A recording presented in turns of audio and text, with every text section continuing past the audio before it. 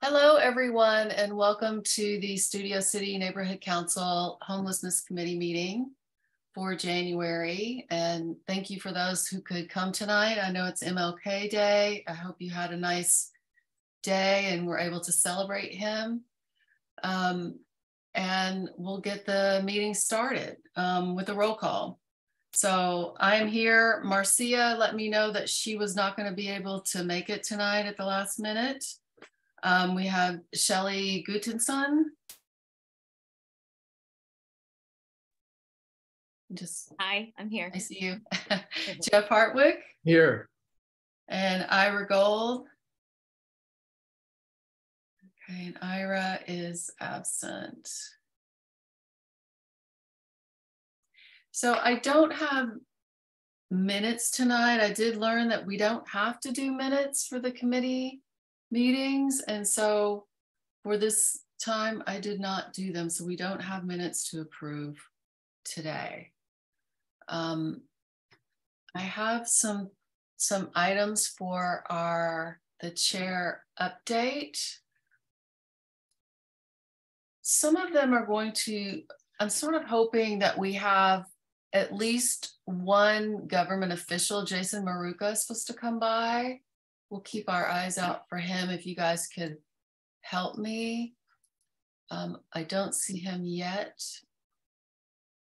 But um, first thing I do want to mention is that um, we have a new committee member.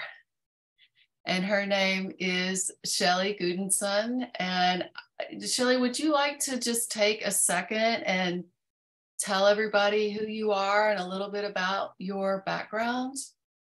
Yes. Yeah, thank you.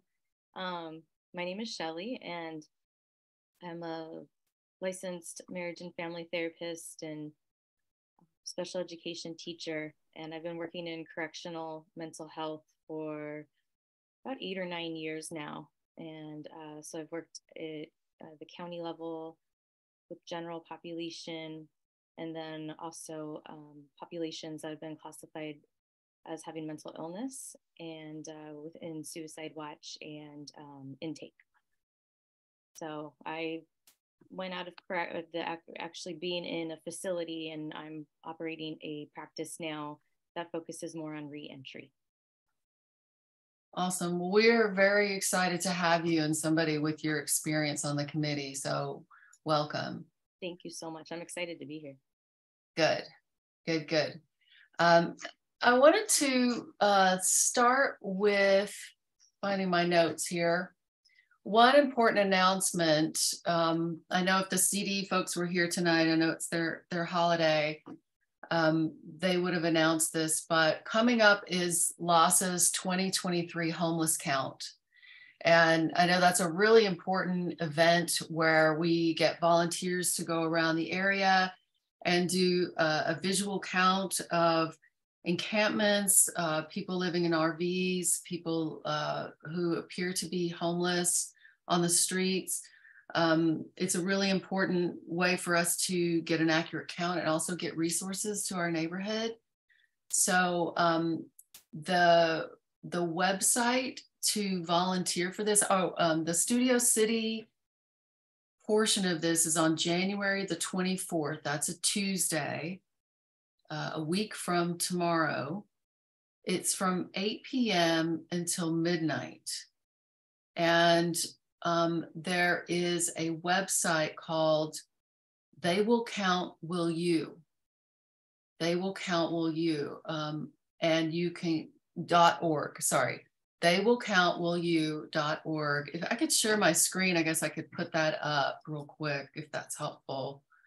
Um, and it's really easy to volunteer to do that. Um, I went through and looked at it to see how hard it might be. And it was super easy. And I noticed that we have 41 out of 70 needed volunteers. So they are still looking for volunteers. Hopefully you're seeing that screen there. So it's theywillcountyou.org. And you just click through on this register to volunteer button put in your zip code. Says North Hollywood. Choose this site. And there you go. So the meetup section is here at the at 4390 Colfax, which is the First Christian Church right there. So anybody that can do that, it would be super helpful. I did send the graphic to Brandon today to post on our Instagram. So maybe that will get some eyes and ears for that. So, um, you know, I just wanted to mention a few other things. I'm sure you guys read the news, um, but our CD4 council member, Nithya Raman, was named the new chair of housing and homelessness for city council. So um, Barry Johnson actually sent me an, uh, an interesting link with an interview with her on NBC News. If anybody's interested in finding that, I can send you the link, but you can also Google Nithya Raman, NBC News, and see a few of the things that she had to say about how she was going to approach it. And, you know, a lot of it had to do with building more housing and, um, and a little more density, what she called gentle density. Um, not high rises, not Manhattan, but four to five story buildings or putting duplexes or triplexes where single family homes are, which is something I know we've discussed as a committee. So anyway, she has a new responsibility, and I thought that was worth mentioning. Um, a few other things in, in the news with uh, Mayor Bass is kind of getting herself going and has declared this state of emergency uh, regarding homelessness and launched the Inside Safe initiative. Um, it was shown that they housed about 96 people in Venice this week um, I think there's another thousand to go, but that was pretty good progress um, compared to what we've been seeing in the past. Um, yesterday, there was also in the LA Times a story about how they'd extended the LA Grand Hotel downtown for another year. It was supposed to close in about three weeks. And um, I know they had housed there a lot of people from Echo Park and people from Project Roomkey um, I think there's about 480 beds there. So they extended that for another year. Um, another interesting piece of news um, article that actually Scott Mandel shared with me about the care courts, which is something that we've supported, which is a, a statewide program that helps people who are, um, you know, have severe mental challenges with schizophrenia, and you know higher level psychotic disorders but getting them into treatment that is going to be implemented sooner than we thought in la but maybe next december. So i think it was going to be even later but there's a push to get that going in la which is i think in my opinion uh, good news. So um, anyway those are just a few things that are going on that i thought were worth mentioning i don't know that we've seen the results of a lot of this in studio city yet you know um, one of the articles that I read said that council uh, member Krikorian is working with Mayor Bass to identify places in the valley that need attention. So hopefully we'll see some more outreach here very soon. Um, and then I guess the last thing I wanted to mention, I'm looking for her name right now. Our CD4 rep who who comes on and is just such a nice person and has been so helpful to us every time I call her um, Tiffany, uh, I think it's Zaytunian. I don't see it written down here because I've, I've lost where I wrote it down. Anyway, she's moving to planning and she's moving out of her field deputy position in Krikorian's office into planning. And she is going to be replaced by a person named Denise Shaw. So hopefully Denise will join us at a meeting very soon and we'll start our relationship with her. So anyway, we have more to talk about later down in the agenda, but that was everything that I wanted to mention as an intro. Um, and I guess next thing on the agenda would be for me to take public comment on non-agenda items. Um, I guess I should take comment on anything that I just said too. I guess anything I just said is, is non-agenda as well. So if the public would like to make a comment on non-agenda items, please raise your hand and I'll call on you now.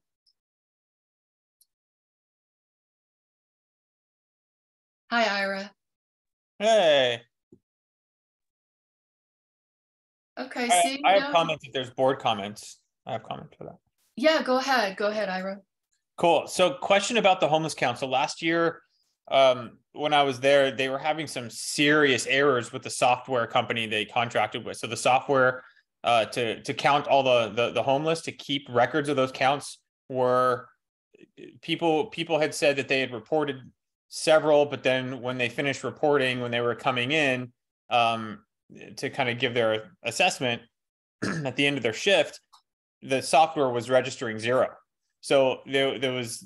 I talked to one of the reps, and and uh, they said that they realized that there were some serious glitches, and they were likely not going to be using that same vendor. So was, my first question would be: Are they? Do you know anything about that? Are they? Have they changed vendors to something that's like accurate, or is it the same one? I don't know. That's not good news, but hopefully they have worked out some of those glitches. Okay. I, I, so. I don't know. Sorry. That's okay. I was just, just curious if you knew. Actually, you know what? That's it. That's fine. That's all I have. Okay. All right.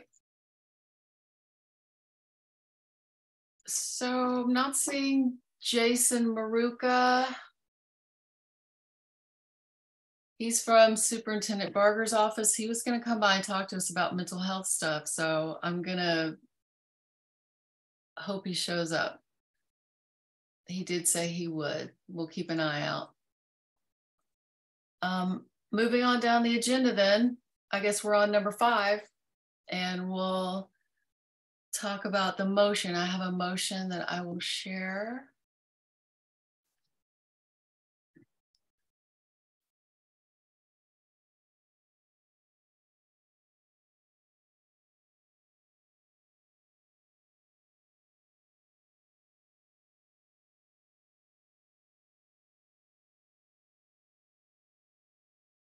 Okay. So the first motion is, um, I'll just read it. The motion is the Studio City Neighborhood Council supports Council File 12-1690-S18 to identify funding to increase support for the winter shelter program.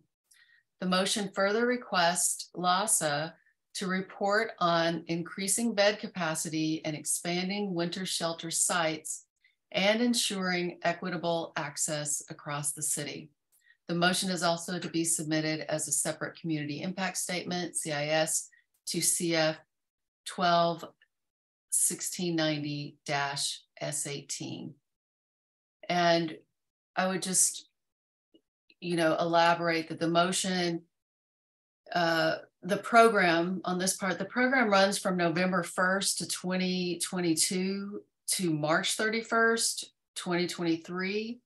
It can be accessed through the LAHSA home engagement teams, or a person can call 211 to be connected to a winter shelter.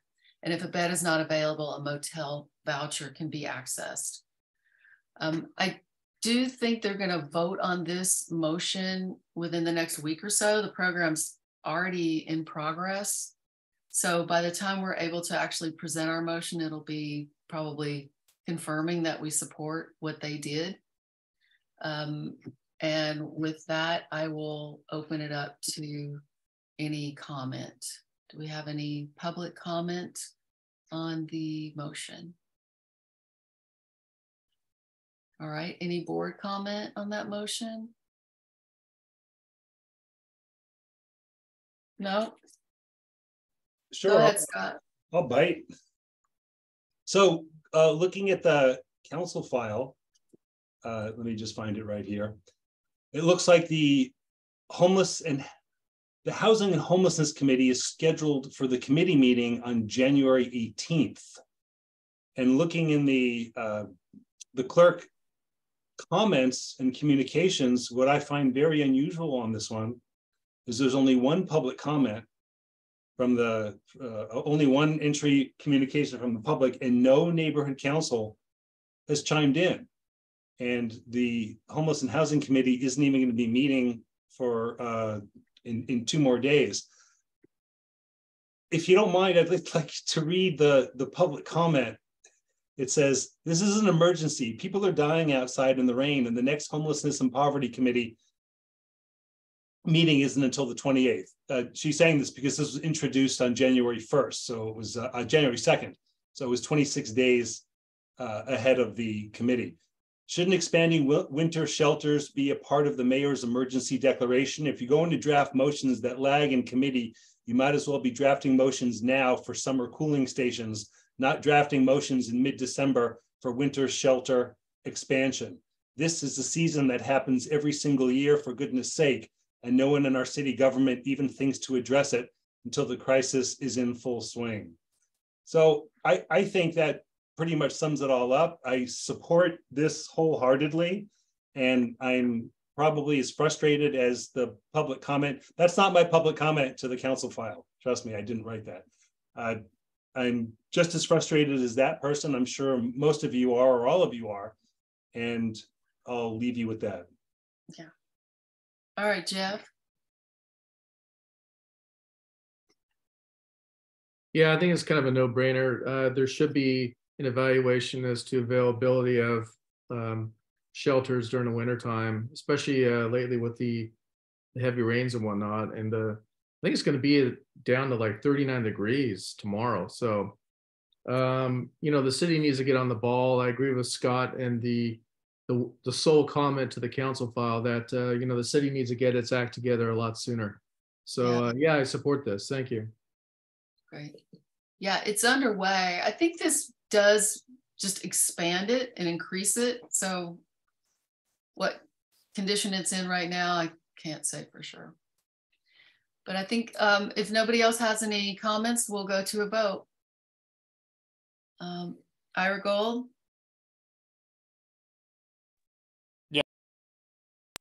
Sorry, I'm here. Uh, it took me a second. Yes. No problem. Um, Jeff Hartwick? Yes. Shelly Gudenson? Yes. Julie Houlihan? Yes. And probably the. I can vote, by the way, so I'll vote yes. I'm allowed to vote. Mandel. Okay. Thank you. Thank you for your vote and your comment. I guess the only thing worse than how late the motion is, is how late it will be when we actually get it in, since we won't get it in, won't be able to vote on it this month in our board meeting. So my apologies for that. Um, all right, so the second motion, let me share this. And I'll just preface this by saying this particular motion, I had to read it like 10 times. it's very wordy uh, in terms of what the motion actually is. I think I can boil it down to something simpler, but it was, it's, there's a lot of words and a lot of acronyms. Let me read it and we'll talk through it. The Studio City Neighborhood Council supports Council File 22 1475 to coordinate use of state funds granted to Medi-Cal providers in LA County to meet the local needs and goals with regard to homelessness, housing navigation, and mental health services in conjunction with LAHSA. This motion coordinates the efforts of the California Department of Healthcare Services, DHCS, Medi-Cal Home and Community Based Services, HCBS spending plan, and Los Angeles Homeless Services Authority, LAHSA. This motion is also to be submitted as a separate community impact statement, CIS, to CF 22 1475. So I, I, put in the agenda that this was submitted by Nithya Raman. That was a mistake. I don't know where I got that before, but as I looked back at it, it was actually submitted by Bob Blumenfield. So um, correction there. Um, the motion addresses the use of a one-time funding by the state of $1.288 billion and it's to fund homeless programs through Medi-Cal. And there's two Medi-Cal providers in LA County that will receive about $405 million. And within that Medi-Cal system, there's an initiative called the Housing and Homelessness Incentive Program that the money will go to. So it's a funnel from the state to Medi-Cal to this homeless program. And so what this council file is saying is we need to coordinate that with LAHSA and see how we can combine those goals. And um, I think LAHSA has certain restrictions, such as the number of times they can do outreach to somebody. And this program doesn't have, have the same restrictions. Um, LAHSA is also looking for additional money that would help them expand their street medicine and their mobile health, mental health programs. That says, yeah, their, their, their van programs in the city. So they're looking to take that state money, coordinate with the county, share data, share programs, and coordinate. That's what this motion is about. And it seems to me uh, worth supporting. Again, I believe this is, I wrote going to council January 11th, 2023. Did I miss that? Is that wrong? I'm going to double check that because this may be another case where they've already acted and we're just, again, putting in our two cents later that we think this is a good idea. But these were the only two like current pieces of legislation that we were uh, able to weigh in on that hadn't already been at that moment uh, acted upon. So uh, we'll go to the members of the public if you have any comments. Any board comments? I'm just trying to double check this date. Oh, okay. It does say council action final. Let me just see if I think they approved it. Maybe it's not worth it. It was unanimous yes. So this is done. Um, do we want to go ahead and support it? I guess I'll take committee uh, recommendations about that. Go ahead, Jeff. Yeah, we, we should always go ahead and do it anyway, even after the fact. As Barry said, has instructed me, um, sometimes there are updates to the council file and um, um, changes and whatnot, and, and our input will, will still be there. So uh, it's good anyway. So um, our neighborhood council has its voice heard to to our elected. So you know, it, it doesn't hurt even if it's after the fact. I mean, it would be better if it were before the fact, but it's fine. Uh, so we should proceed. That's fine. I'm just noting this motion was made November 22nd, and we didn't have a meeting in in December. But also, there's no other neighborhood councils have weighed in on it either. I think it's just the timing of it made it tough. But at least they acted quickly. Um, okay, go ahead, Ira.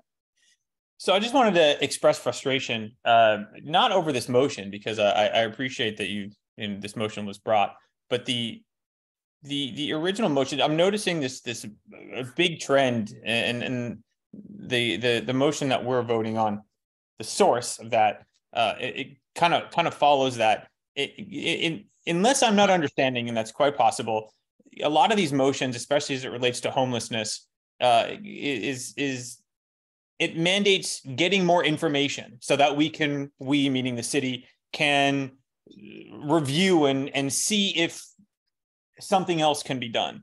I'm not seeing lots of motions that actually have action items in them in there. You know it, it reminds me of someone who i knew who um, was studying for a, a license in, in a profession. And they got the license. And then for that next year they were studying so that they after they got the license so that they could learn how to actually do the job. And I remember having a conversation with that person says, well, when are you going to stop studying and actually start trying to do it? Right. You already have the license. And that person ended up getting out of it because nothing, that person never ended up doing anything. So I'm, I'm noticing my frustration really lies with within these, these, these motions that the city council is putting forth that really have very few action items and more about, hey, let's just get some more reports and get some more info and gather info um, and, and I'm wondering if this is just uh, a continuing tactic to make it look like things are getting done when in fact we're just information gathering and that's it. Um, i would still vote for this motion because uh, I mean it's something, but I just wanted to express general frustration. Thanks. Understood. Valid. Don't disagree. Uh, Shelly? I have to agree with with what Ira said. I think I have um, a lot of questions just regarding specifics of what that actually means um, what the services would be, who they would be provided through. Um, yeah, yeah. So I guess I just have to echo, you know, feelings of uh, frustration because it there isn't a very proactive approach um, or any kind of specifics submitted with that. Yeah, the motions are generally like one or two pages. Now, what is so. the actual programs that are being put into place? I'm not really sure. Yeah.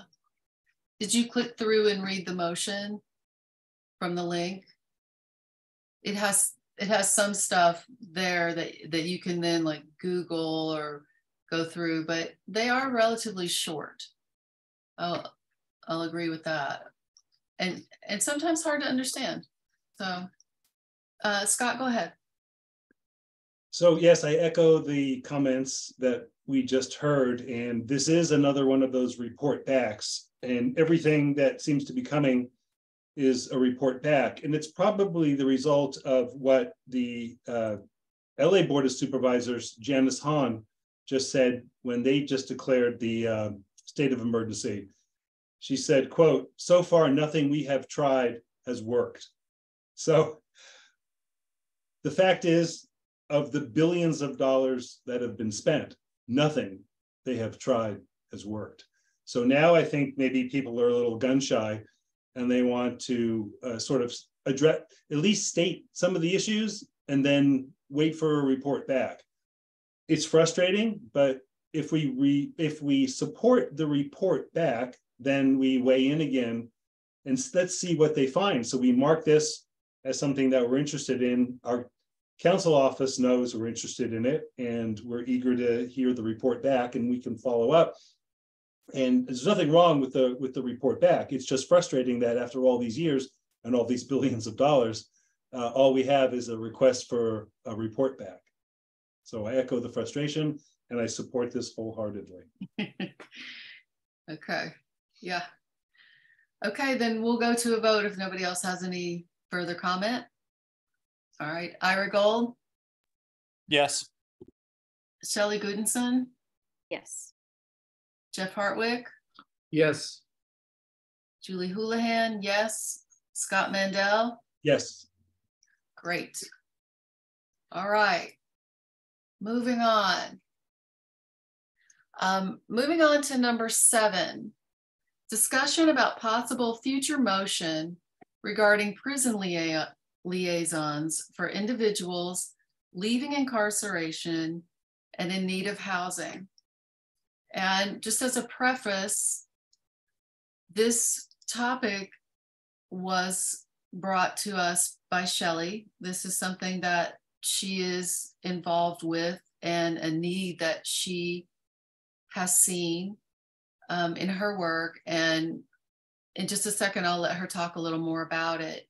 But just to preface it a little bit, we did do a call with Lorraine Diaz and Tiffany from CD4 and talked a little bit. And they also suggested that we speak with Jason from the county because the county controls more of the mental health services. Um, so we have reached out to him, thought he was going to be here. So I apologize for that. Um, before I turn it over to Sherry, I did want to, uh, Shelly, sorry, Shelly. Um, I did just want to share with you one thing, which is a letter that I got from Hope of the Valley. And I don't know if you guys knew this, but Hope of the Valley is changing their name to Hope the Mission. And they're expanding a little bit. And one of the programs that I saw here is New Beginning for the Formerly Incarcerated. So they're starting a program for helping incarcerated individuals find housing. So I think that just reinforces Shelley's idea or her observation that this is a real issue that needs to be addressed.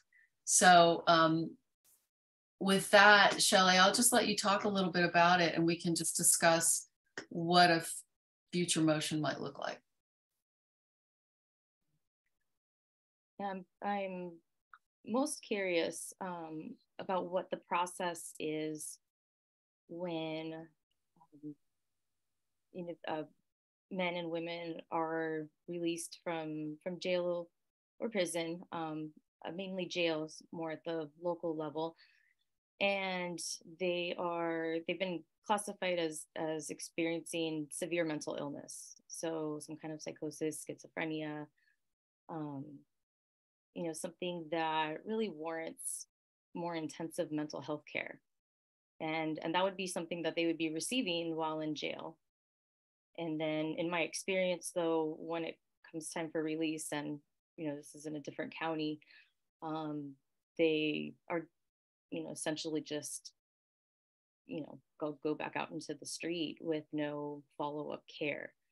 So that's a, a question I have is for uh, is how how does LA County handle that? Um, you know, general population will probably look a little bit different, but specifically the formerly incarcerated that are experiencing severe mental illness, what options do they have in terms of getting them set up for transition? And feeling like, you know, if somebody if if there were you know maybe a, a role of a of a liaison you know that could meet with them prior to release to find out what the needs are and what services are available that transition plan could be completed you know prior to release so that it would be just a smooth transition you know be picked up go into you know services if if that's you know what they desire um yeah, so I'm, I'm still kind of gathering information. I feel like trying to figure out exactly yeah what, what the process is, what happens.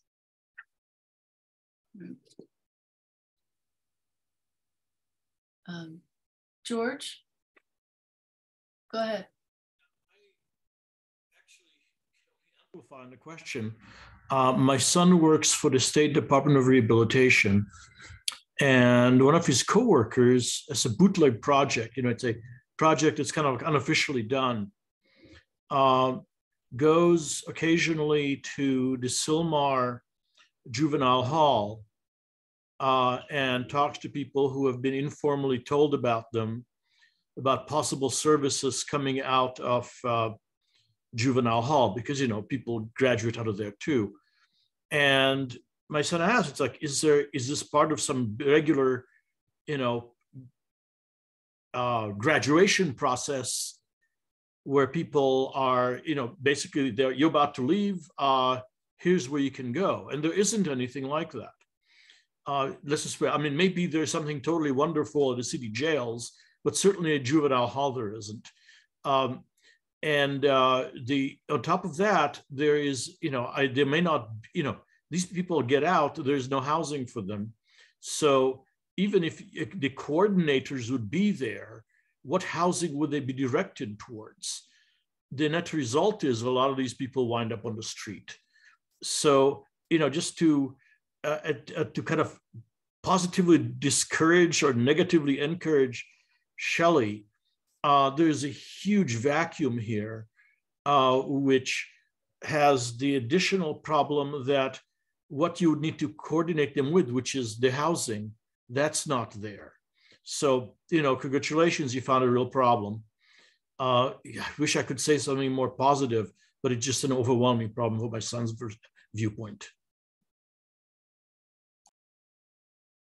So, if what I'm understanding you're saying is that not only do they need the mental health services when they get out, they need the housing. They need, they need, they have dual needs.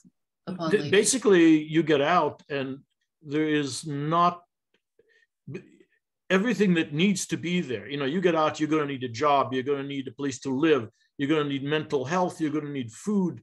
You know, there's no, you know, it needs to be systematic and it's not there. Go ahead, Shelley. No, that brings up a good point. You know that you know there there is a lot of need. Um, you know, in my experience, people are more um, open to accepting services. You know, when they are incarcerated and getting ready for release. Um, you know, then you know maybe it sounds like you know some of the feedback that i've heard just about um, you know like being approached about services you know uh, on the street so that could potentially be an opportunity to engage more people in uh, you know just proactively seeking out the services that they'd like or that they need. So i guess the concept is um, a prison liaison was, I think, the term that you used that would assist people with this transition. And so I guess our idea was number one, to find out how it's being handled now, and then number two, to maybe make a motion to uh, request that this become a, a position or be supported in a stronger way than it is now. We're not 100% sure how it's being supported or if it is a position. It sounds like it's not. But maybe this is a need that's been identified that we can somehow promote through emotion on our end. Go ahead, Jeff. Yeah, I think the this is an issue that's actually being addressed by the the care court system, which is due to be implemented uh, December 1st this year in LA County. And the care court deals specifically with people with schizophrenia and uh, psychotic disorders who are either under the jurisdiction of the criminal system or have um, a family member or a first responder has petitioned the court to to deal with this individual. So that gives them structure and it actually provides them with housing and advocate and that sort of thing. So there is something in the pipeline. It's just going to take some time to to hit LA County and help out with with the situation here. Um, one problem, and I chair the public safety committee, and I'm speaking with a lot of LAPD officers. Uh, when we had the park and ride issue, where we had about 30 to 40 homeless individuals living at the park and ride in an encampment, uh, they were telling me that word got out that uh, many people released from the jails, word got out in the street that that was a place to go because drugs were plentiful and um, it, you know laws weren't really being enforced and you could just set up a tent there and, and, and go to town so um, there's also a problem with the the jail pipeline that goes straight to many of these homeless encampments which causes a lot of public safety issues so that might be uh, another dynamic to look into is to to whether some people are not availing themselves of housing opportunities or instead looking for areas where where there's crime and opportunity for that. Thanks. Scott? So while we wait until the county program is put in, I'm I'm all for Shelley digging into this and seeing what what can be done uh, absent the, the the care court, the county program, or any other program. We uh, that I that I know two uh, previously incarcerated individuals living in Studio City. One is now back behind bars because he committed a, um, a violent felony. The other is living along the river until he commits another violent felony and he's back in jail. These people get released and they go back to the area they're familiar with and they have nowhere to live and they live along the river and they have no way to support or provide for themselves. So they or or their drug habit and they uh, lead a life of crime. And the residents here are sort of held hostage to certain areas that they claim for themselves. So i'm all for whatever you you can come up with uh, to get i mean we have uh, people on megan's list living in the area. People have to live somewhere. So there's got to be a way i mean i think danny trejo has some kind of a program that offers uh, previously incarcerated at least work and some way to support themselves.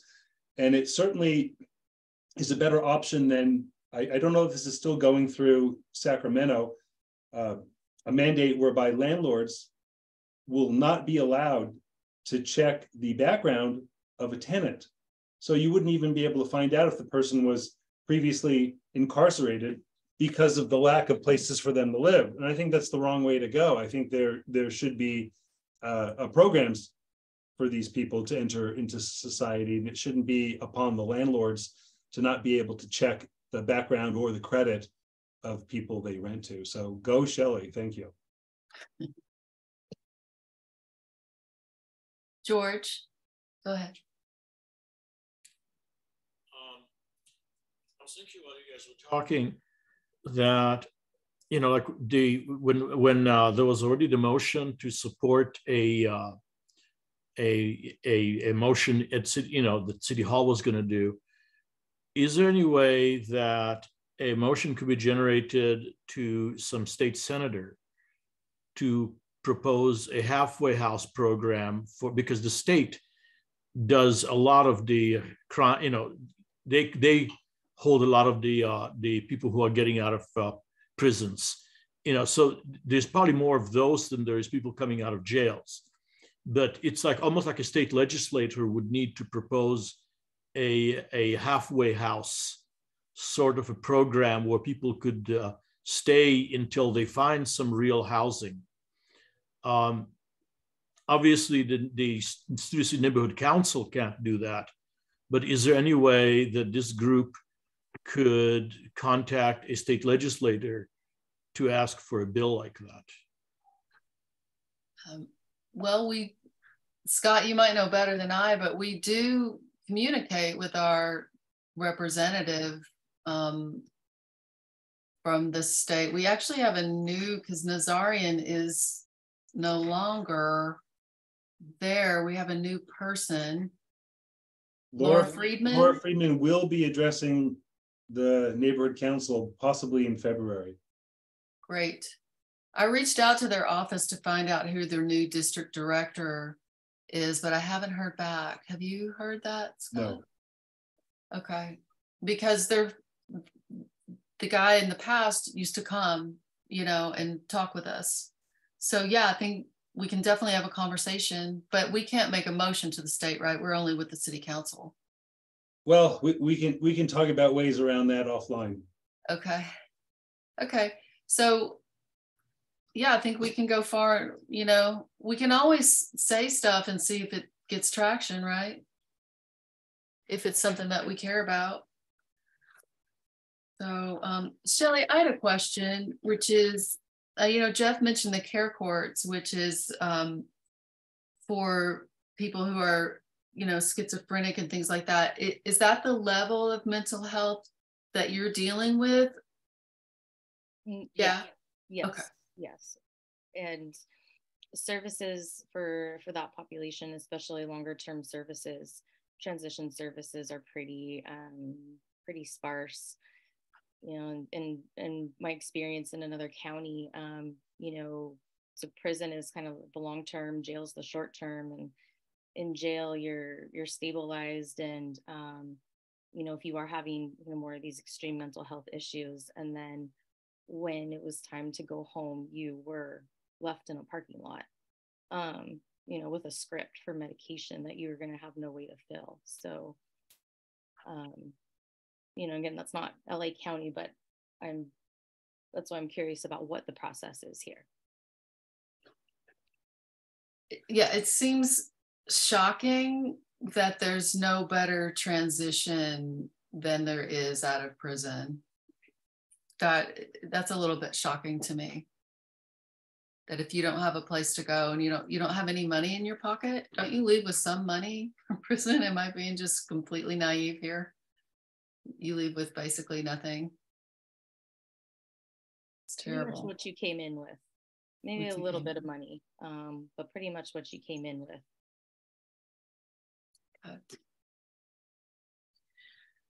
Okay. Any further discussion on that matter?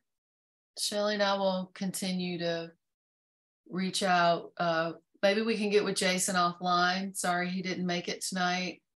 And then um, we can also reach out to uh, Assembly Member Friedman's office. Okay, so we'll move on to number eight. And this is, again, just another discussion. And it's discussion about future motion regarding the need to shorten timelines for helping homeless individuals into housing. Two instances where the current 45 day enforcement period is in inadequate are encampments near schools, which violate the 4118 ordinance, and encampments that are near businesses and interfering with their ability to conduct business. I say 45 day enforcement. I don't know if that's an actual thing but it is a number that I've heard referred to when I talk to various people that there's rough for example when I asked about an encampment on Laurel Canyon which was close to Campbell Hall you know they said well it usually takes around 45 days for us to make the needed uh, contact and to go through all the steps that we have to go through usually takes around 45 days that just seems too long. I don't know how else to say it. That seems too long. Uh, it seems like a lot of red tape. Um, the people that we deal with, the police officers, the council folks that we deal with, the LA Family Housing, we've met all these people in our meetings. These are great people. We've dealt with them offline. They're doing their jobs they to the best they can, but there's so many rules they have to follow and it just seems like there's too much red tape and everything takes too much time. And I know that's called government, but it's ridiculous. Um, there's also an example of a person right now that's, you know, living at the at the paper source store on Ventura Boulevard that seems in a lot of distress. It seems like a very stressful situation in in many ways not only for that person but for the business owner for everybody involved for people who are even witnessing it, it's stressful to even see what's going on there and um, i think there's just too much red tape uh, for getting help for this person so i personally find it frustrating i'm not sure exactly what we should do but i just wonder is there you know, a homegrown initiative, not looking at a, a city council file, but just some way of us collectively expressing how we feel about it and the desire to cut the red tape and shorten this timeline. That's my thought. Anybody has any comments on that?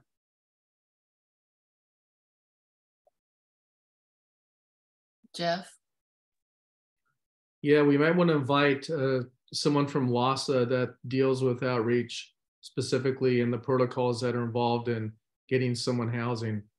Um, I think part of the problem is lack of uh, open beds in, in certain districts and whatnot. So that might be part of the equation, but it might behoove us to uh, contact LAHSA and have them show up at one of our meetings and then give us input about the, the timeline there to get it straight from the horse's mouth, so to speak.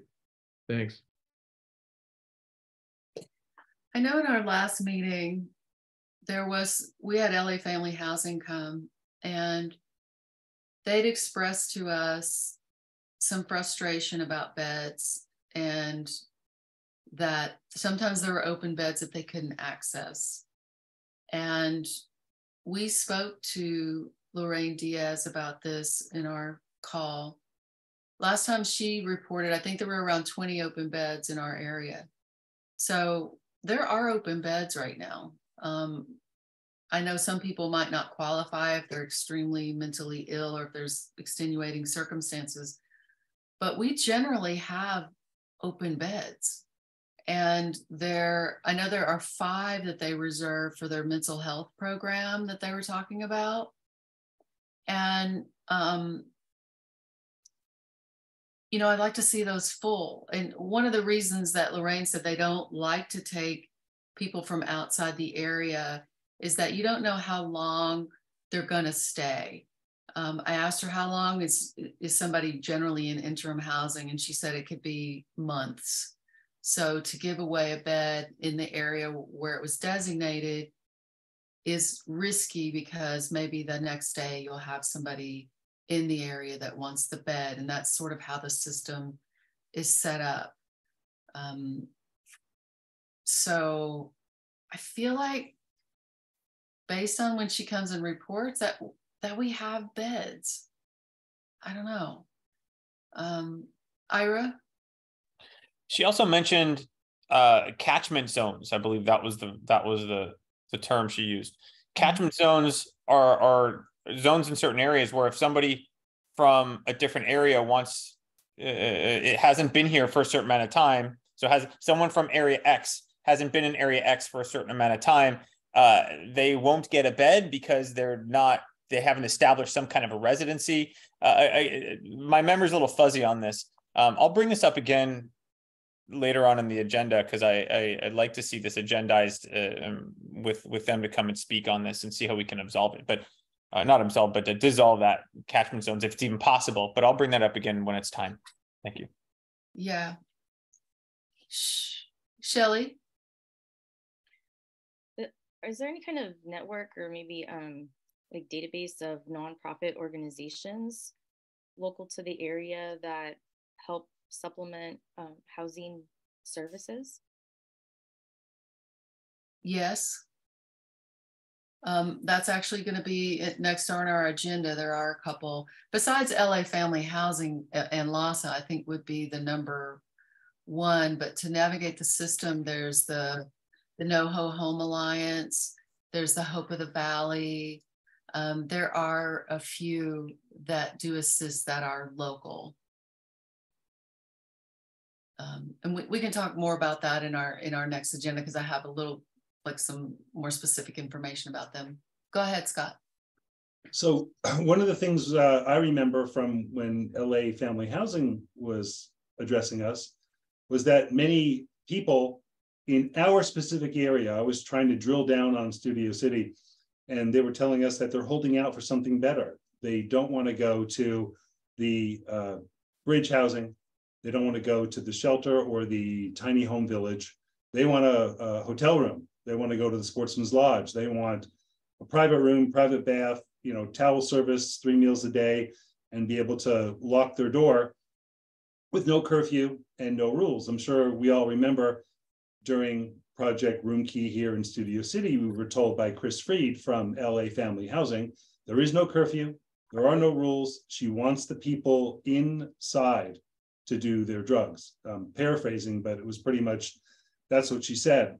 So now we we do have open beds in our area, and I think to Ira's point, I think he's absolutely correct because there's 15 different uh, sectors, basically all sort of clamoring for their own resources to deal with homeless. It isn't a citywide issue, and that's one of the problems with the way the homeless crisis is addressed. It's 15 council districts all with completely different policies and you have you know hard borders as if it's like the iron curtain that things uh, occur on one side don't occur on the other. And that's perhaps going to be addressed or or softened a bit with karen bass's uh, state of emergency which they also have now the what is it called? Inside safe which goes back to hotels and motels.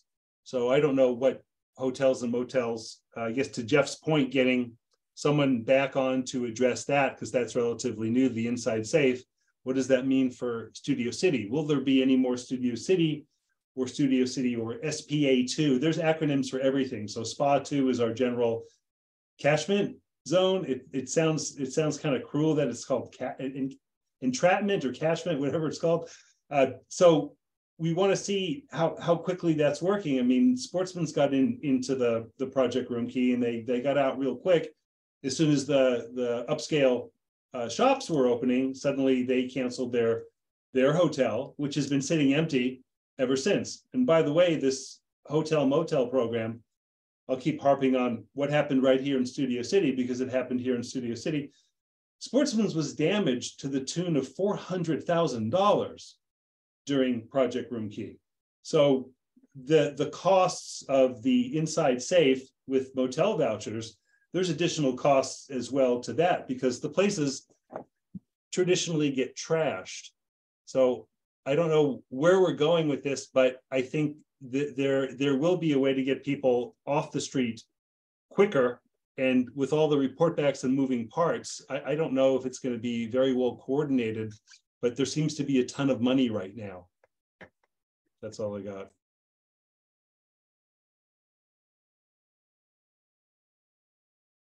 George, go ahead with your comment. Small question. Uh, Julie, you said that there were about 20 beds that were available. Um, and actually, the lady at Paper Source is two blocks from my house, and I talked to her. Um, the thing is, those beds are they like beds in a winter shelter with like 40 people in a room, or are they in a room by itself? Because most homeless people don't want, you know, they if, if you have if you go into a room with 40 other people you you arrive at 7 or 8 p.m and you don't know anybody and you're kicked out at 8 a.m it, they don't feel very safe. Uh, are those 20 beds like that or are they in rooms by themselves? Well from my memory she she ticked off a few different locations. Um, i know that at the you know, the navigation center at, at the Hope of the Valley, they're they're sort of like cubicles in a big room. But we also have, I think, two tiny home villages in our area that are available, and maybe there's one or other t- one or two other sites. Um, there's multiple sites in our area, and I think you know for that is somewhat of a source of pride for our council members that they created more housing than some of the other areas. And so I think in a way they want it to be for people that are in our area. I think I'm anticipating what um, I'm still elaborating on on what I, I was talking about because she pushed back pretty hard on taking people from Whittier or from other uh, areas that don't that haven't committed to tiny home villages or to housing, whereas our district ha- is, somewhat of a leader. I, am not saying we have the most because I think other people, there might be people that have more than we do, but I think there's uh, some pride in how many beds we do have. But to have any empty beds, I think right now in the winter and the rain is not desirable at all. I would love to have all the beds full with people who desirable. need them. I understand for us it's not desirable, but my experience with homeless people is they don't trust other homeless people. So I was wondering if if whoever approached her, that lady next to Paper Source, yeah, did that person say that there is a room where you would be the only person? Uh, because the thing is, I talked to her. In fact, the, the tent she's in right now is the one I gave her. So uh, it's uh, you know this morning. I wondered where it came from. I noticed it came from me. Uh, she was there through several rains, yeah. pretty heavy rains with a teeth shattering. So I got her a tent and I got her some hot soup. But uh, I, you know, the, my experience having talked to her is I don't think she trusts other people. Uh, and that's been the case with a lot of other homeless people I've talked to. So yeah. whoever approaches her, you know, the, the, question is, how do you approach her? Some, she has been unfriendly to some people and she's been friendly to others. She's been friendly to me.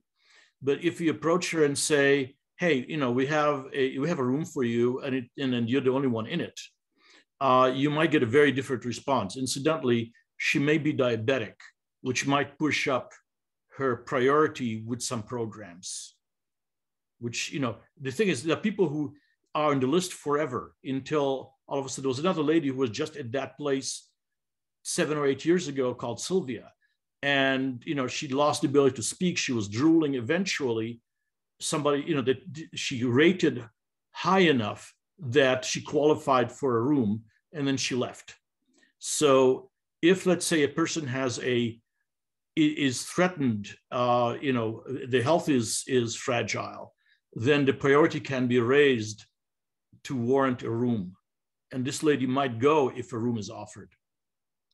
I, I mean, there are solo rooms available. I don't know if one's been offered or what that outreach has been, but I can certainly reach out to the council office tomorrow.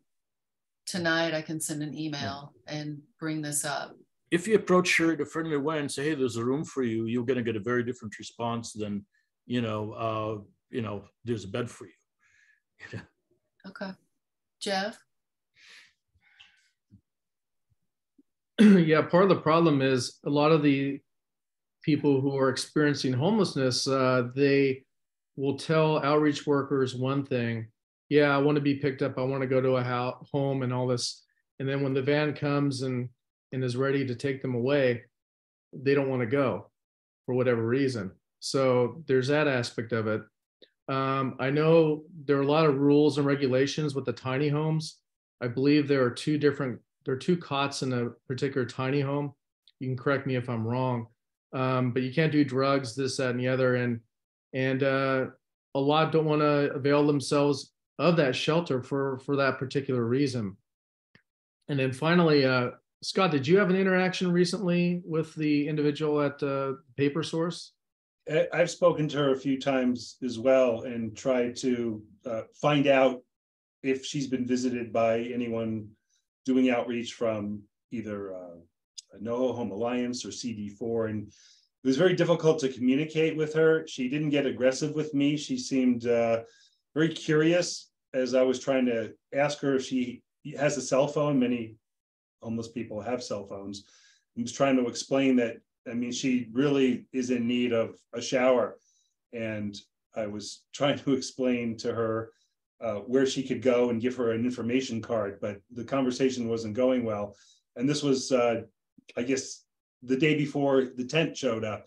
There's also a man that that stays there as well. I don't know if they're connected with each other, but they seem to interact uh, quite a bit. George probably knows more since he's they are, they are connected. Yeah and she is she really has a hard time trusting people but you know the man has been actually i mean i talked to him and he seems to be quite intelligent. I mean i don't know how other people react to him but you know i, I was looking for her earlier today and he looks at me saw me looking around and said can i help you?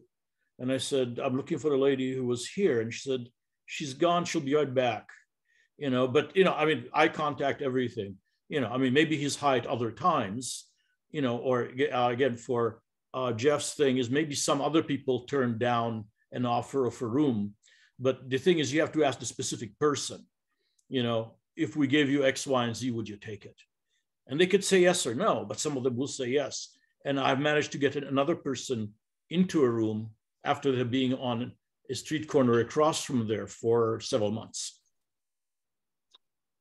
Right. So between what George just said and, and my interaction with this person, it, it is pretty amazing that the outreach workers don't appear to be doing their job. Uh, the police know the woman is there, the neighbors know, the businesses know. I am certain I'd be shocked if CD4 doesn't know this woman is there.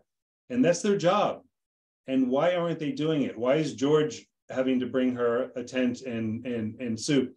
Why am I there explaining to her where she could get some some where, she can get her clothes washed? I mean, she was it, it, it was uh, it was quite a mess when I was there uh, yesterday, and these what I had asked LA Family Housing for is when we see an encampment, when we see a homeless person, when we see someone in distress, there's got to be a way where we can be informed, the public can be informed, the neighborhood council can be informed that they know about it and they're trying. And you know, the call's already in. Do we do we need to keep reminding the council office of the same thing?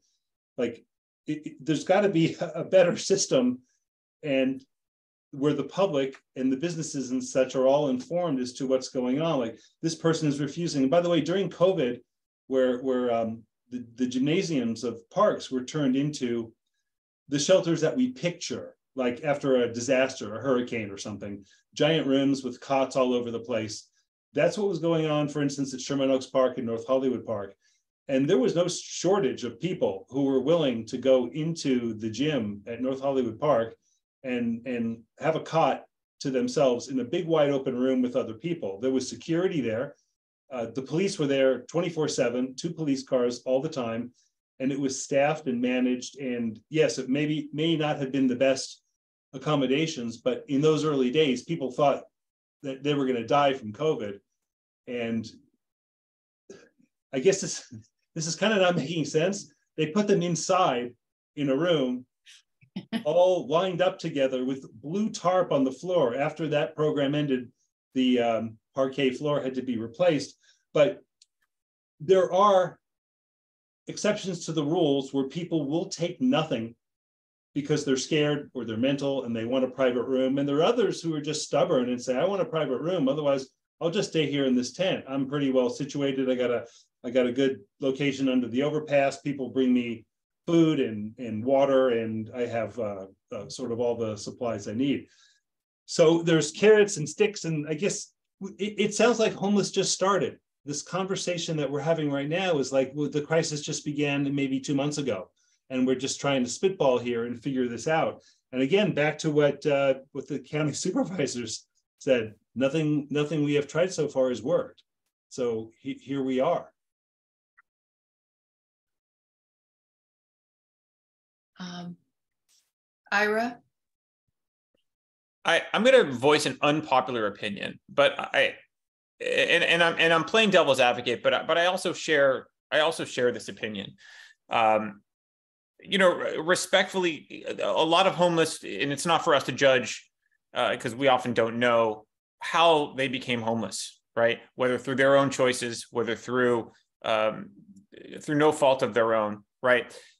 But all in all, vagrancy is illegal, right? So when when somebody of seemingly sound mind and again that's debatable right and not necessarily for for for us to decide but if someone with seemingly sound mind is wanting shelter but they're picking and choosing that's where beggars can't be choosers comes in and and my the unpopular opinion that i'm sharing is if somebody is committing an illegal act uh, and vagrancy is an illegal act if they are committing a legal act and they are offered any means by which to stop committing that act, even if it's just temporary for one night, and they refuse it.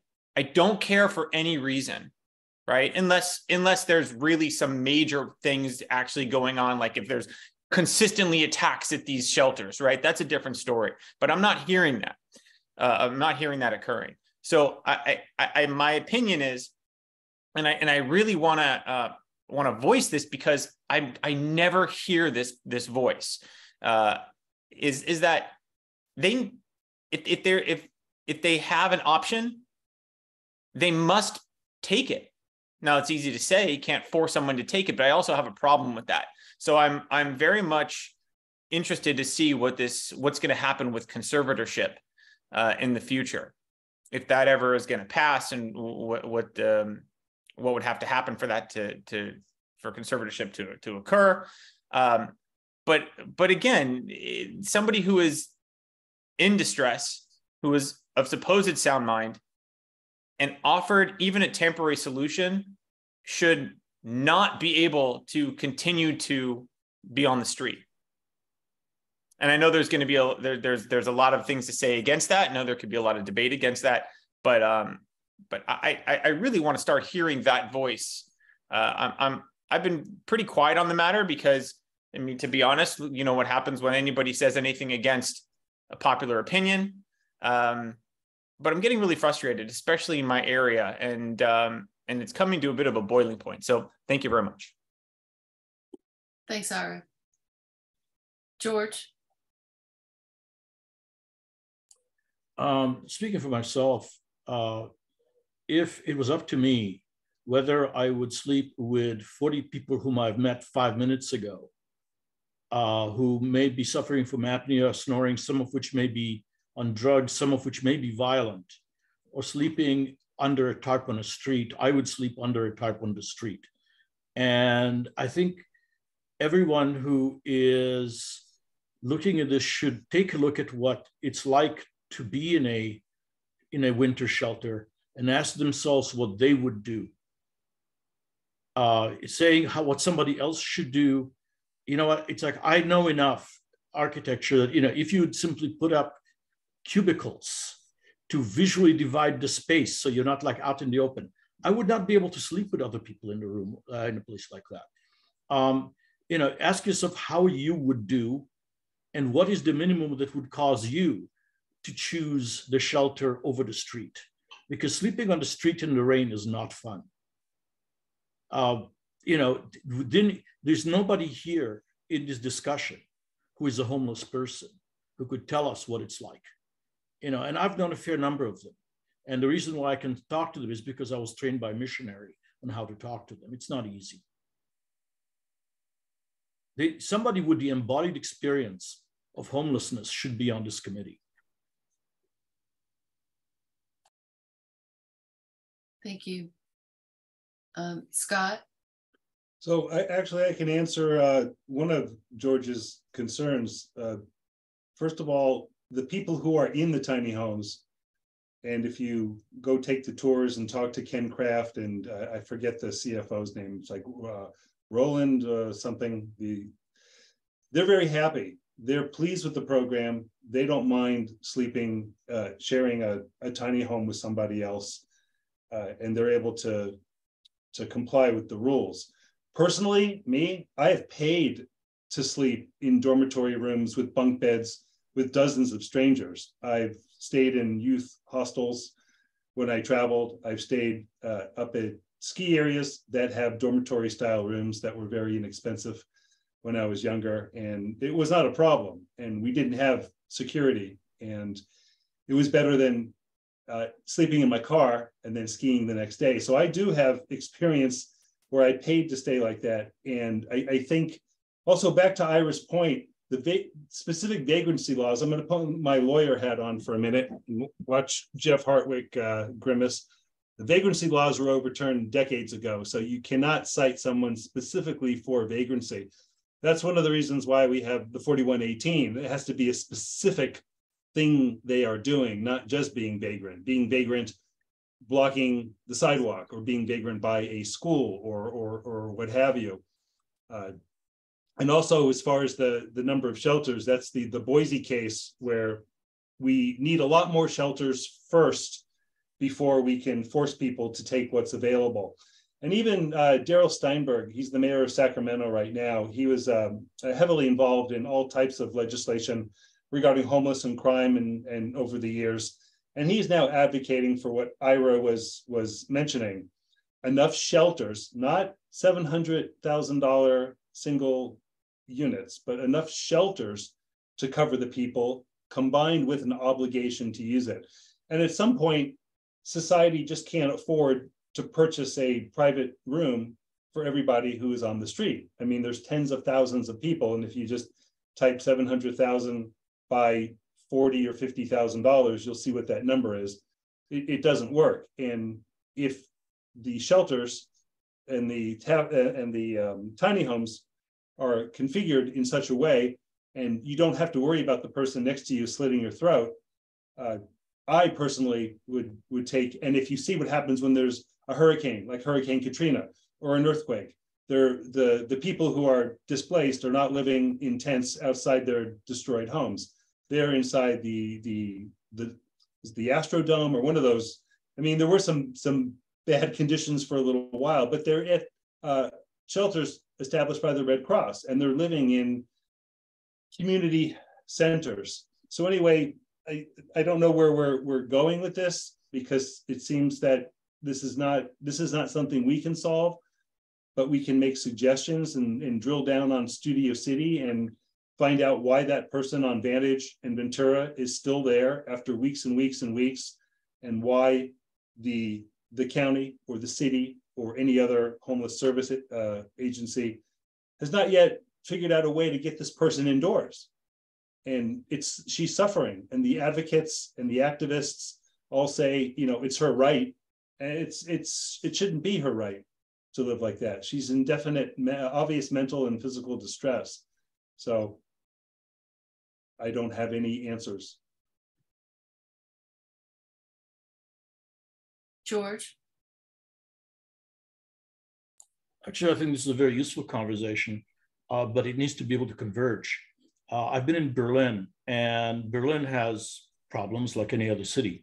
Uh, they have housing which is made out of these cargo containers that you see on trucks. They're called ISO containers. And you know, if a mobile home can, can be bought brand new for $100,000, there's no reason why one of those uh, containers, like the way the studios uh, have the dressing rooms when they go out in the field, can't be had for a whole lot less.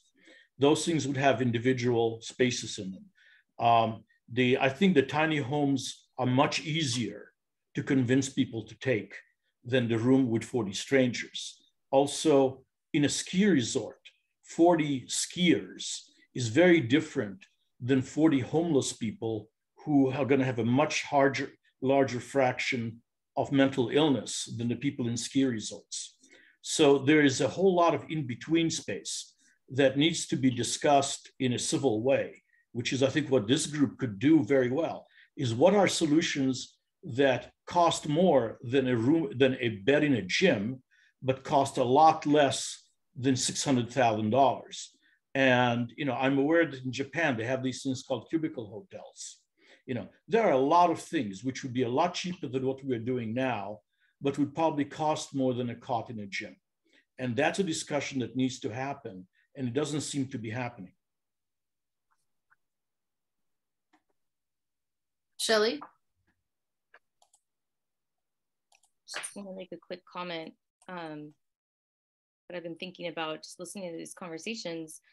You know, I think the tiny homes are, you know, great, um, but a tiny home doesn't address substance abuse. It doesn't address mental health. It doesn't address a lifetime of trauma and you know other adverse experiences that somebody's been through. So um, I kind of see it as a band aid in a sense, where you know you can get somebody to the tiny house but if the underlying issue isn't addressed then how much how much of a long-term effect is it really going to have? It's a great point and i do think that some of these motions even tonight that we were uh, supporting there's a mental health component in them. And i think that at least the government uh, people who are doing this are starting to recognize that that housing and mental um, mental assistance go together in many cases and sometimes they argue in which order you should get them but maybe it's both at the same time i don't know but i think it's it's a great point and something that that we're seeing at least now in this legislation uh, but as you and I discussed, I think we sent out an email about it. There's articles in the paper about how difficult it is to get mental health workers right now for the county, that the county is short of mental health workers that they're creating all these programs for. And, you know, the pay is not great, the hours are not great. So you know that's a whole nother aspect to this that maybe we need to support which which is higher pay and and uh, better programs for the mental health workers that are putting themselves you know out there to work with the homeless population uh, that they need to be encouraged and they need to be properly paid uh, to do this work and we need to have enough of them so, uh, you know, that's another thing that maybe we we could look at. But just I wanted to get maybe back to this original, maybe the original discussion is is not the motion, but I'd like it to be a motion, which is that we need to speed up this process. However, that process is, it's too long. 45 days is too long for help. And well, I think I agree with almost everything everybody said, and that includes, you know, Ira, it, it, because I think it's frustrating for um, for people on both sides the stagnant way that this is happening. And I was struck. I was thinking about two things that have been said to us in committee meetings before um, about allowing you know those that that need the help to refuse the help And one was um, our senior lead officer talked about the park and ride. And that was a very serious issue for us when we started this committee. It was, there was crime, there was fires, uh, you know, we lost the use of the parking lot. There was just a lot going on down there. And when it was finally decided that they were going to clear that parking lot, there was the the residents there had to make a decision take the housing or go somewhere else or don't but you can't stay here and what he said was that's what you have to do you have to say here are your choices. We're going to give you this place but you can't stay here. So we're giving you an option but the option is not to stay put. So there's maybe that sort of element of tough love that we're not exercising that maybe needs to be exercised a little more strongly or a little more quickly. Because how many times can we reach out to the same people when we're using our resources five ten times on one person when there's 45,000 people we need to serve how many times can we go to the same person? I'm just asking. I'm not sure what that answer is, but um, maybe it's not 10 times, maybe it's three times, you know, I don't know. Um, the other thing that I, uh, that really surprised and struck me was when we had LA Family Housing here, and they said, Ira asked the question, why we have more people here than you see in Malibu or that you see in Calabasas or you see in other areas? And the answer was because we have more services. We have more leniency here. They know this is a good place to be homeless, you know?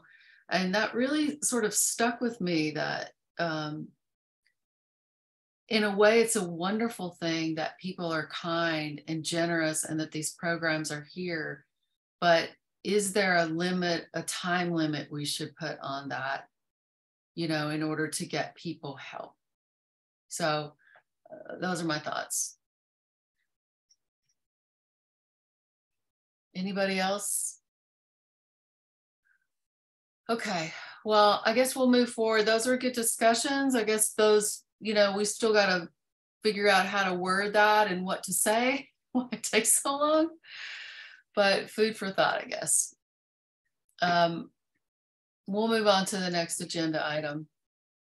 And um, I skipped number nine, so we'll just consider that one done. Sorry. Um, we have been discussing, we'll go to number 10, which is website information. And we've been wanting to put some stuff up on our website. We have our door, our, our little window open. Is that correct, Scott?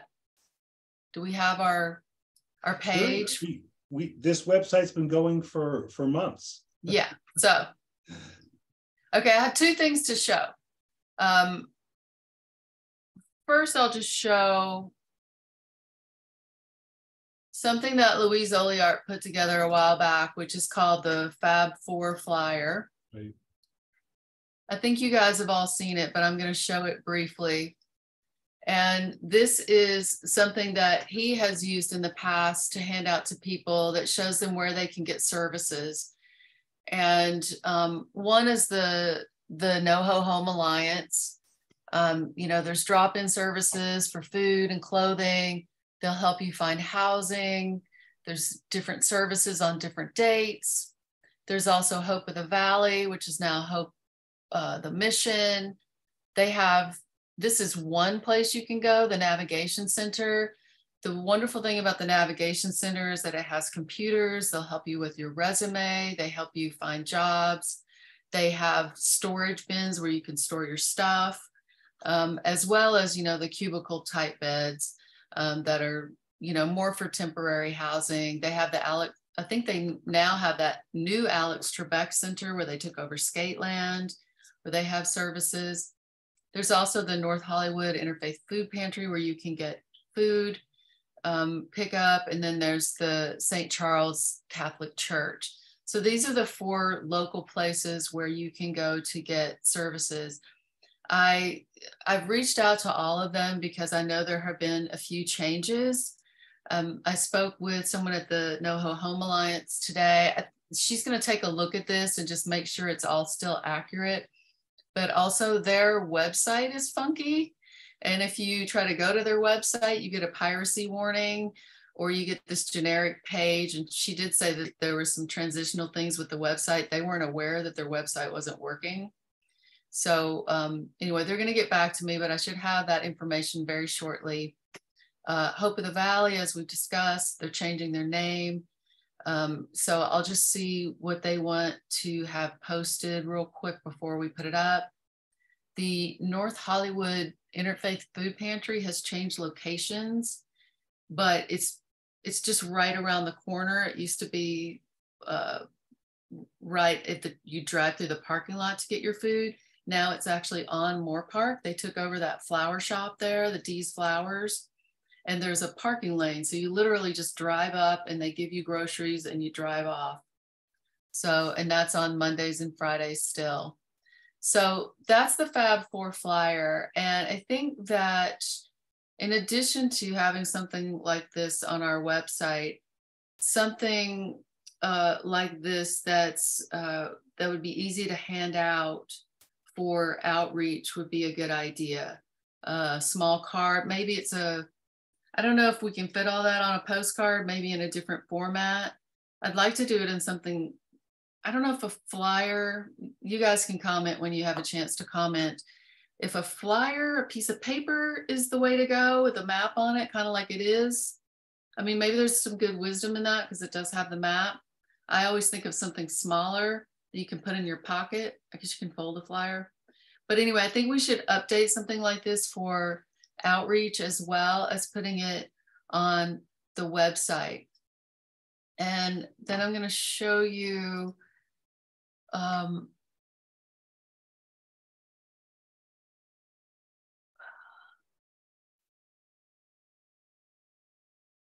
this is kind of an update of the information I don't know, Scott. Do I need to get a graphic designer to do this, or will the website people make it look nice? That's my question.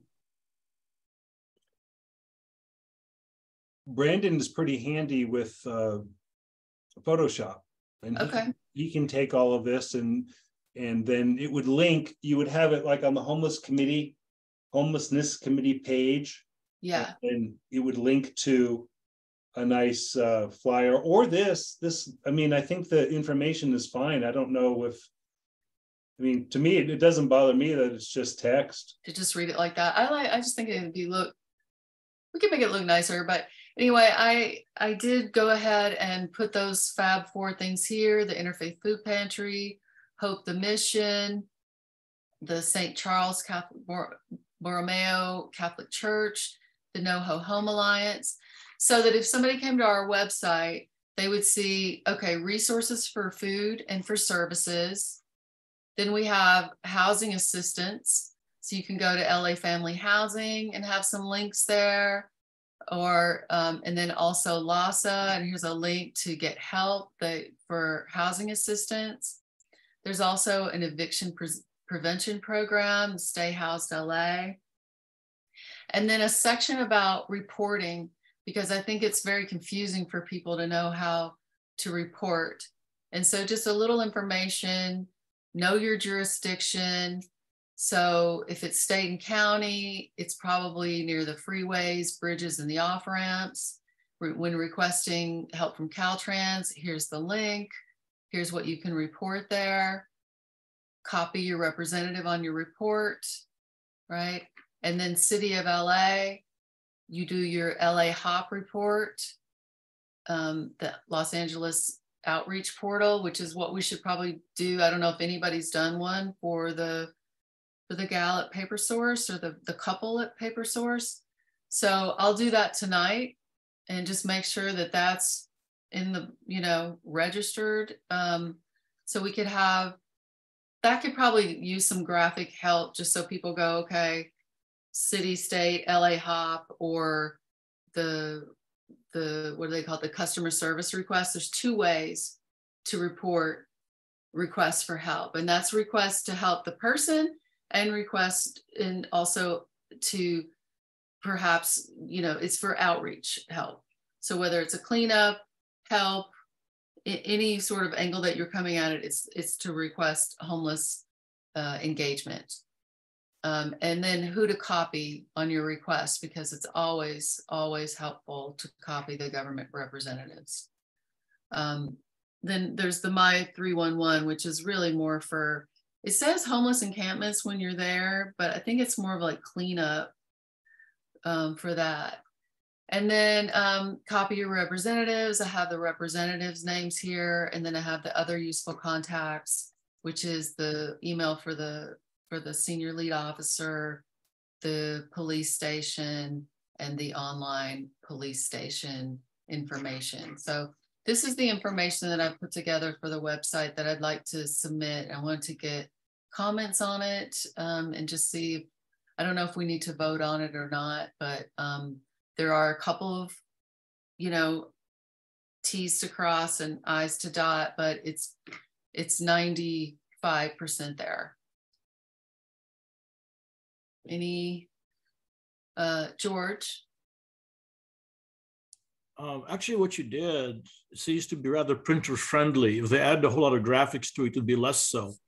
So maybe something very close to what you're doing now should be available somewhere so you could print it out because I would hand this out. Okay, good. Thank you. Anybody from the committee? Abby? I I would like to just um, piggyback right on what George mentioned. I I really like your um, your resources that you put together in Word document, and I think it could uh, probably Brandon could probably put it in a in a nice design. And I'm actually, as you were explaining all those uh, resources, I actually it's like I really wanted to have it in front of me so I can start forwarding to, uh, to some people.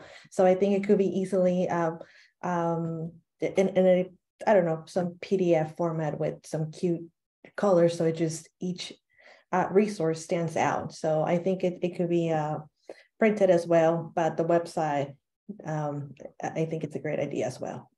Good. Yeah, we want to be able to empower people and say, here, go to our website. You can get all the information you need, right? Maybe in the website, download brochure, and it's uh, just um, the, the the PDF, and you know we can actually forward from from there. Great. Thank you, Jeff. Yeah, just go ahead and post everything. Um, you know, a lot of stakeholders, they don't really understand the process.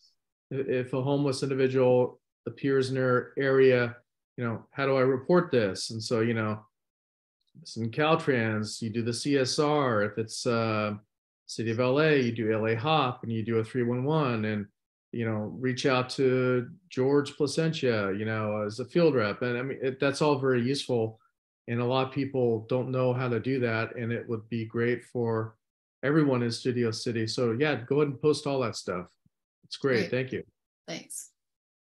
Okay, we'll go back to the public. George?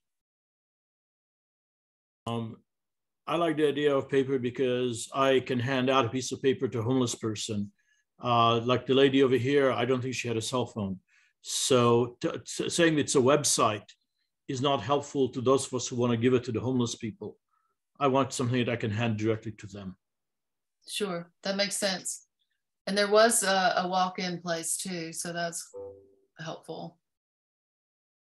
All right, do, do you think we need to vote on that or is that just kind of okay? That's part of what we're doing as a committee. I don't think it's a vote. I think, Okay, yeah. Yeah, I think as chair, as a chair, you, you're empowered to basically deal with your little section of the website. So yeah, just do it. okay, we're doing it.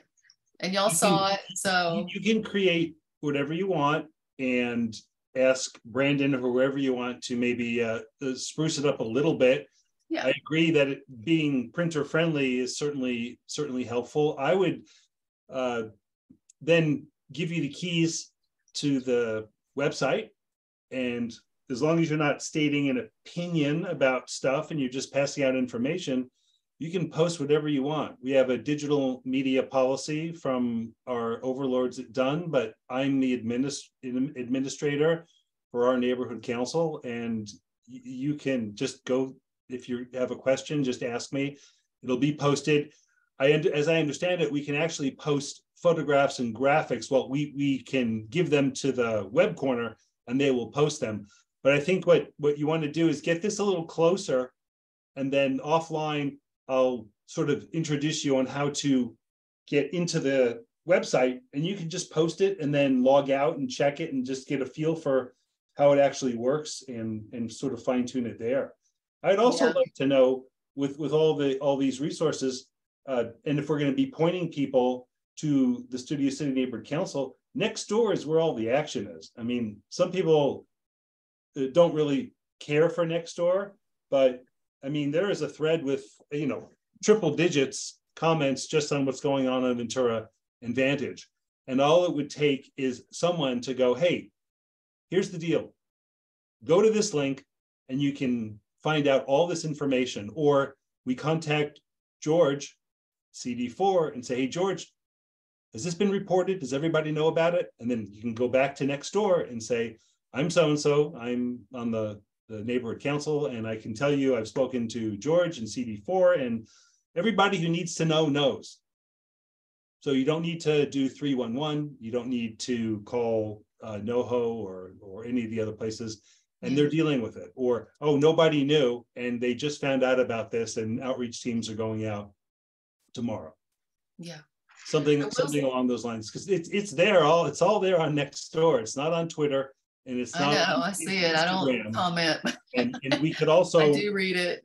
but by by letting people know what's going on and directing them to the studio city neighbor council we'll get more community involvement which is what we want.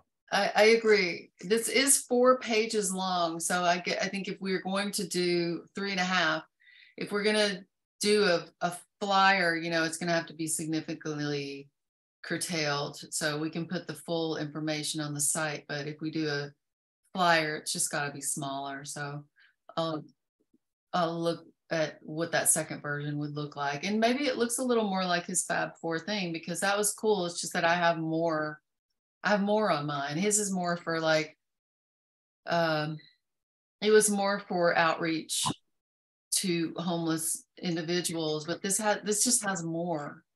So let me put some thought into that real quick. Okay. Um, Abby. Oh, hi. So question for, I guess, Scott, or maybe Billy, you can answer. So reporting homeless homelessness would it be to George or would it be to jo uh, Josh Scarcella, who's the new hire for CD4 homelessness deputy? Or both, or just George and he'll forward it to Josh? How does that work? It's a great question. Well, you should do the LA-HOP and then copy them on it, right? Um, and I usually go to Josh, but I did list all three people in the office. And so you can just copy all of them. But in terms of who I usually invite or who usually comes to our meeting, it's usually Josh. Mm-hmm.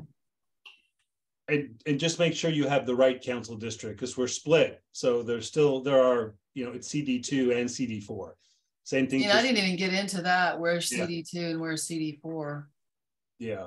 On, on my uh, on my map overlay, actually, uh, you can click and declick the council district and the supervisor district. I'm trying to get the um, the uh, uh, files, the map files for all the SLOs as well. So those can be clicked and as overlays on and off, so you can see who the SLO is.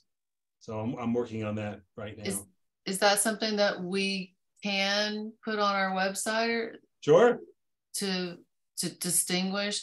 I think it's really hard to understand what's what in Studio City between city, state, what which CD are you in? It's like, you know, although I will say that the CD offices are really wonderful about communicating with each other. They'll say, well, that's not me, that's them, and they'll send it over.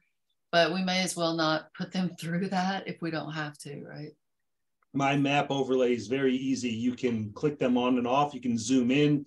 You can zoom right down to seeing the center line of the of the LA River where it separates and can you actually see the line go down the center of Colfax and see which is CD2 and, and CD4. It's very accurate.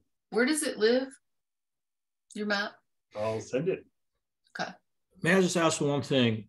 uh, whatever you do, you can make it as fancy as you want. But if you have a button that says printer version, I click on it and I have something I can put in a single page, black and white, and give it to somebody. Then the other thing can be 27 colors for, for all I care. Just something I can take and hand out.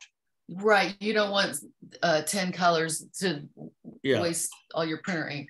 Yeah, Got I- it. One Okay. page with everything on it. Okay. All right. All right. Well, we're close. We're close. I've been working on that document for a while and we're close. So, okay. Um, if, if there are no more comments, uh, we will move on to discussion number, uh, sorry, item, agenda number, item number 11. Discussion regarding potential topics for future meetings. So I think Iris said that he has one, um, but George, I will, I will call on you first. Go ahead. If there could be a discussion on maybe where some porta potties could be put, like in some parking structures and, you know, um, because, you know, there's probably some, you know, these people need bathrooms. I mean, nowadays, even cafes have combination locks in the bathrooms. Hmm. Would that fall under the business district stuff? I'm not sure if they would uh put porta potties on Ventura Boulevard. The big- Yeah, Uh, he's talking about parking had them in the, and things we like had them that. the over, uh, under the overpasses for a while.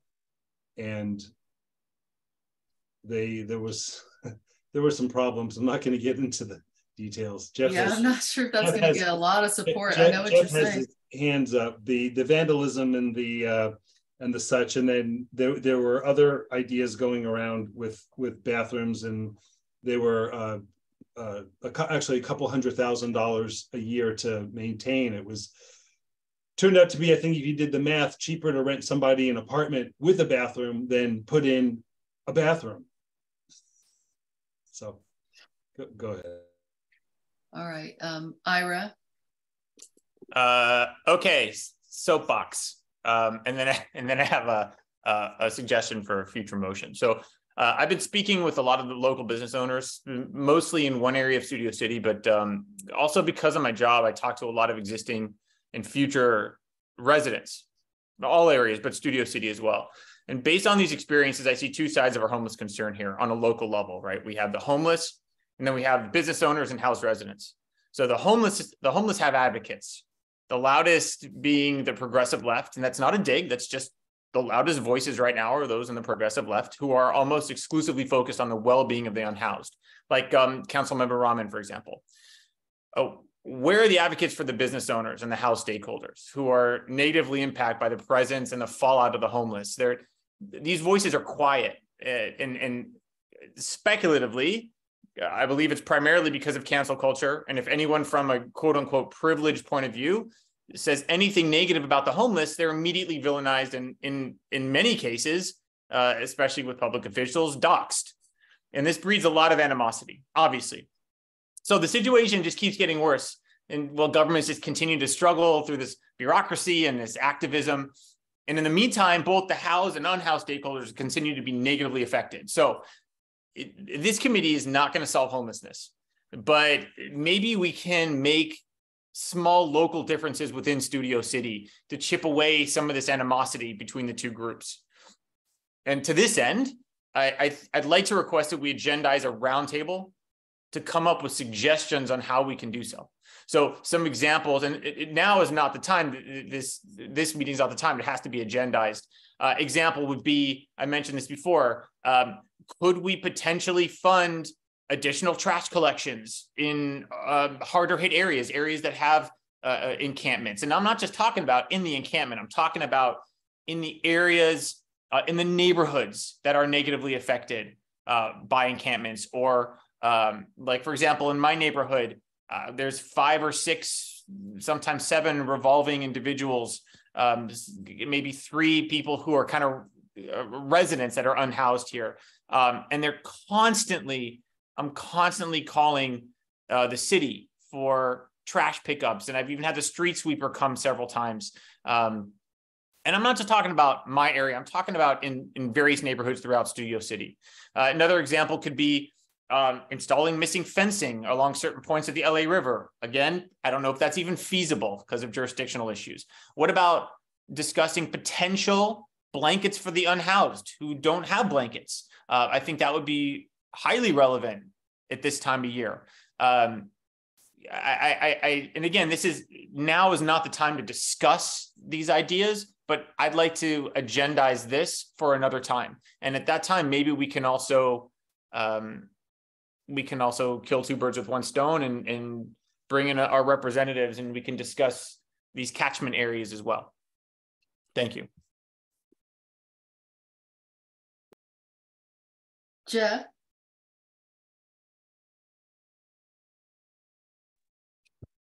Hi, yes. Um, I think part of the problem for CD4 is that Nithya Raman um, opposes what Studio City wants. I mean, how many requests for action have we sent to Nithya Raman's office uh, from unanimously passed by the neighborhood council uh, to designate 4118 zones in our area, and she's completely disregarded it. So, I mean, we've we've tried to plead with our elected representative to to get stuff done and it falls on deaf ears so that's always been a problem.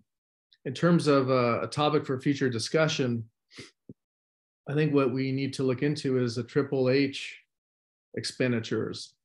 So 1.2 billion dollars in triple h money um, has been budgeted to house homeless. I think they've built about 7400 units. Um, i'd like to know you know, how much each of these units is cost the taxpayers, um, what their timeline is. Uh, you know, I want to learn more about actually what what has gone on with this program. So that might be something beneficial. Get LA um, housing on in on this and give us a briefing about what's going on uh, because if you if you build 7,400 units you know, we have 41,000 homeless individuals. I mean, I mean, how many of those individuals have have gone into the units? Uh, how many more are they going to put online each year, et cetera, et cetera? So I think we need to know where where the money is being spent. Um, and then finally, I think we need to look into the individual over at the Beeman Park Library. That person's been there for two years, and I've spoken to him, and it's, it's just not humane for him to be living there for two years and I want to know what what outreach efforts have been uh, done to help this person from uh, from Nithya Raman's office because they do have their own homeless outreach. So I'd like an update from Nithya Raman's office about what outreach efforts have been made to help this particular individual because he's still there and it's been years and I don't know if it's I doubt very much that it's it's lack of housing availability for this person I think this person just doesn't want to avail himself of the help. So, but I like a clear picture because under 4118, a, a new amendment to it, you can't camp within 500 feet of a public library, and he and he's right there in plain view. So we need to find out what's going on with that. Thank you. We voted for that. Um, okay, so um, I guess if people don't object, I'll go back for one more public comment since George has, has his hand up. Uh, George, I'll give you one final, one final swing. Um, I would like to add something to Ira's earlier remark, maybe uh, a roundtable discussion, a couple of roundtable discussions. Uh, one of them would be what kind of facilities can we put up that would not arouse uh, a you know a complete shutdown by the community. Uh, you know, it's like if you know if there's no support for uh, uh, porta potties and there's no support for uh, you know motels, it's like what what could there be some support for that would cost less than six hundred thousand dollars a unit? So it's like let's have a brainstorming roundtable on that. That's number one. Second one is it would be interesting if there could be a roundtable with some people being invited, perhaps from like the UCLA social science department or something as to where the resistance of the home uh, of the homeless to use the facilities that are being offered to them is coming from. Uh, we're all wondering why they don't use this, this stuff, but it would be nice to have somebody who understands the community, maybe even some homeless people explain, are there units which you are not taking? And if so, why are you not taking them? Um, you know, we are here discussing them as if they were living on Mars, but there should be a way to find out why the resistance, if such resistance really exists.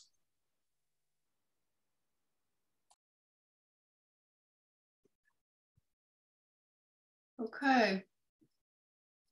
If that is everybody's comments, thank you, everybody. I'm going to move toward to agenda item 12 and just say closing comments. I just want to thank you guys for a great discussion tonight. Um, you know, it's a tough topic. I think the the door is always going to be open for more discussion and more action. And thank goodness things seem to at least be moving forward somewhat. We'll keep a close eye on it.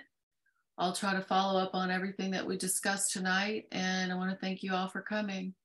So with that, I move that we, do I have to move this? I think we can just close it or all in favor of adjourning the meeting, say Second. aye. Thank you. Aye.